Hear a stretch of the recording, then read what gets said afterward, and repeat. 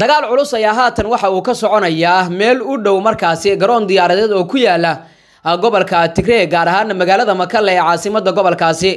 Dagaalkaasi oo u dhexeeya ciidamada etoobiya kuwa eritrea iyo maleeshiyaad amxaarada ah oo isgarabsanaya iyo sidoo kale jabhadda t b l f. Warbixin ayaynu idinkaga soo gudbin doonaa. Ciidamo fara badan oo etoobiyaan iyo eritrean isugu jira ayay sheegeen t b l f inay halkaasi ku dileen. Guulo waaweyn ayay dagaalka ka sheeganayaan walow ay dhibaatooyin xoogan markaasi labada dhinacba ay soo gaareen. Warbixinno ayaynu idinkaga soo gudbin doonaa waxaan sidoo kale idiin soo gudbin doonaa saraakiil sarsare oo ka tirsanaa ciidanka dowladda etoobiya oo haatan hogaaminaya kuwa jabhadda t b l f. Dagaalkana markaasi hor jooga warbixin ayaynu idinkaga haynaa. Qodobadaas iyo hadba wuxuu nagu soo kordhay intaynu barnaamijkeena ku guda jirno oo la xidhiira dagaalka gobolka tigree ayaynu idiin soo gudbin doonaa oo barnaamijkeena aynu ku eegi doonaa saaxiibayaal balse haddii aad nagu cusub tahay oo markaa ii kuugu horreysay ina daawanayso sabscribe janalka inoo saar sii sheergarey muuqaalka oo laag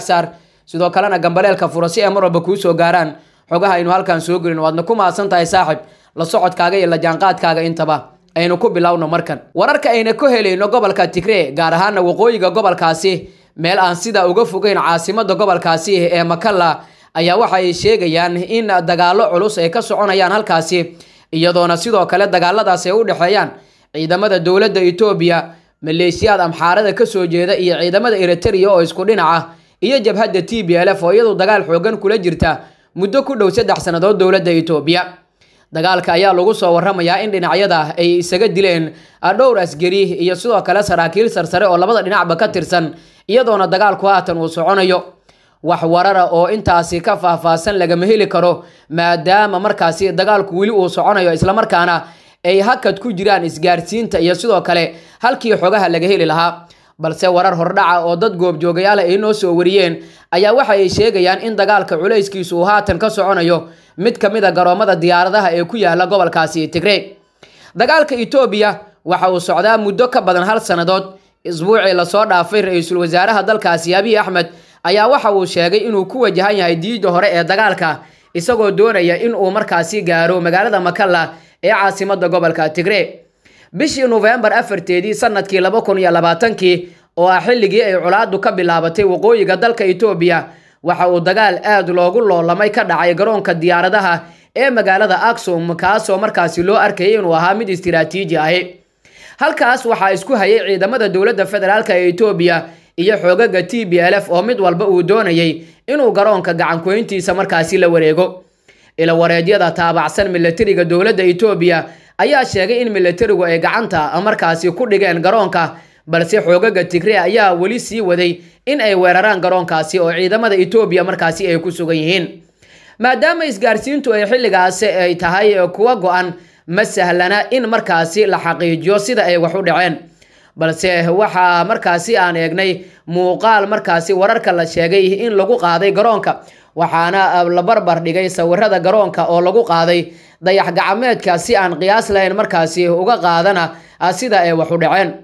Ciidamada etoobiya ee ka amar qaata ra'iisul wasaare abiy axmed ayaa qabsaday garoonka koob iyo tobankii nofembar ee sannadkii hore sida markaasi ay dad goobjoogayaal ah dowladda markaasi ku qoreen baraha bulshada. Wixii intaasi ka horreeyey waxaa gacanta markaasi ugu jireen xoogaga gaarka ah ee t b l f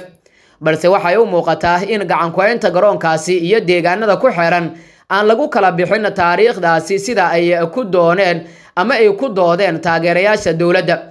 Sagaal iyo tobankii nofembar ayaa hogaamiyaha tigre debrishan gabri michel waxa uu wakaalada wararka ee royters u sheegay in magaalada aksum iyo weli markaasi gacanta ku hayaan balse ma cadda in garoonka markaasi uu ku jiray gacantooda iyo in kale. Aksum annaga weli gacantaan ku haynaa ciidamo ayaa la soo diray si ay noola dagaalamaan balse dagaal ayaa weli soconaya ayuu yidhi debrishan gabri michel maalintii xigtay ee labaatankii nofembar dowladda ayaa daaha ka rogtay in ay la wareegtay magaalada aksum balse t b l f dhaawac ballaaran gaarsiisay kaabayaasha markaasi magaalada. Laba iyo labaatankii nofembar ee isla sanadkaasi ayay warbaahinta dowladdu daabacday. Muuqaal iyo sawiro muujinaya burbur soo gaaray dhabaha markaasi ay diyaaraduhu ku ordeen ee garoonka aksum iyo godad markaasi u muuqday dhufaysyo laga qoday gudaha garoonkaasi. Dhowr maalmood ayuu garoonka markaasi ka socday dagaal faraha looga gubtay oo ay labada dhinac markaasi si aada isula weedaarsanayeen hubka noocyadiisa kala duwan sida markaasi aan ogaanay muuqaalana markaasi ay dhab yihiin noo soo gudbiyey. Waxaan markaasi la eegay sawiro lagu qaaday dayax gacmeed oo muujinaya xaaladda garoonka ka hor iyo kadib weerarka. Khamiistii ay taariikhdu ku beegneed sagaal iyo tobankii nofembar waxa ay u muuqatay in garoonka uusan qabin wax dhaawac ah marka la eego sawirada laga qaaday hawada sare ee garoonka balse sawirada markaasi lagu qaaday dayax gacmeedka ayaa waxa ay markaasi ku beegneed saddex iyo labaatankii nofembar waxayna muujinayeen xariiqo taasoo malaha xaqiijin u ah sheegashada dowladda ee ah inuu dhufayso markaasi laga qoday gudaha garoonka si aysan diyaaradahu ugu degin. Haddaba weeraradaasi iyo duqeymaha ka dhacay gudaha garoonkaasi magaalada aksum waxa ay dhaceen bilowgii hore ee markaasi dagaalka ka soconaya dalka etoobiya laakiin warar cad ayaa waxa ay haatan sheegayaan oo ka soo baxaya gudaha garoonkaasi in weli dagaal xoogan uu ka socdo islamarkaana maanta uu dagaal ku dhex marayo ciidamada dowladda etoobiya oo markan garab xoogan ka helaya kuwa eritrea iyo maleeshiyada amxaarada ka soo jeeda iyo ciidamada t b l f oo iyaguna markaasi garab xoogan ka helaya dowladda suudaan ciidamo ka socda iyo maleeshiyaad ka soo jeeda gobolka canfarta waxaana la soo warinayaa in dagaal aad iyo aad u culus uu halkaasi ka dhacayo sidoo kalena garoonku uu aada ugu burburay wax diyaaradana markaasi aanay hadda garoonka markaasi ku soo degi karin dagaal culus ayaa ka soconaya gudaha garoonka iyo banaankiisaba waxayna labada dhinac kale sheeganayaan guulo waaweyn oo markaasi ay kala gaareen. Balse wararkii ugu dambeeyey ayaa xaqiijinaya in ciidamada t b l f ay haatan garoonka gacanta ku hayaan. Sidoo kalena qeybaha ugu badan ee magaalada aksum iyagu ay la wareegeen aroortii hore ee saakay oo dagaal culus halkaasi ay ku qaadeen. Labada dhinac ee iskaashanaya ee ciidamada eritrea iyo kuwa etoobiya ayaana weli wax wara ka soo saarin dagaalka haatanba ka soconaya meel aan sidaa uga fogeyn garoonka diyaaradaha ee magaalada aksum ee gobolka tigre. Dagaaladan ayaa waxay ahaayeen kuwa maalinba maalinta ka dambeysa sii kordhaya iyadoona meelo kala duwan oo gobolka tigree ka mid ah ay si aada ugu dagaalamayaan ciidamada dowladda etoobiya iyo kuwa eritrea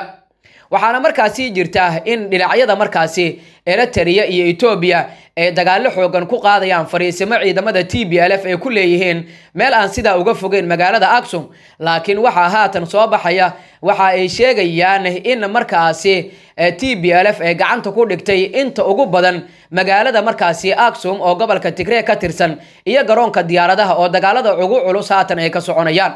Wixii warar ee ku soo kordha daawadayaal wararkeenna iyo warbixinadeena soo aadan ayaad ku daawan doontaan balse haddii aad nagu cusub tahay oo markaa ii kuugu horreysay ina daawatay sabskraib janalka inoo saar sii sheergaray muuqaalka oo laagsaar sidoo kalena gambaleelka furo si ay mar walba kuu soo gaaraan. Xogaha aynu halkan soo gelin waadna ku mahadsan tahay saaxib la socodkaaga iyo la jaanqaadkaaga intaba. Inta aanu warkan kiisa kale aynu ku kulmi doonana sidaa iyo nabadgelyo